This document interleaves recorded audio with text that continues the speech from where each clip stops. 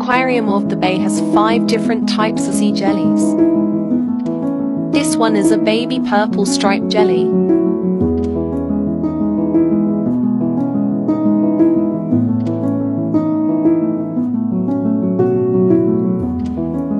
Here are some Pacific sea nettles. These are the most poisonous and largest of our jellies.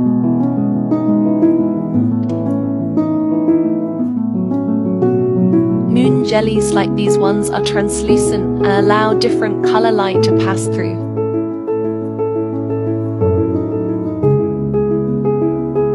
Upside down jellies are some of the most unique. They hang out upside down,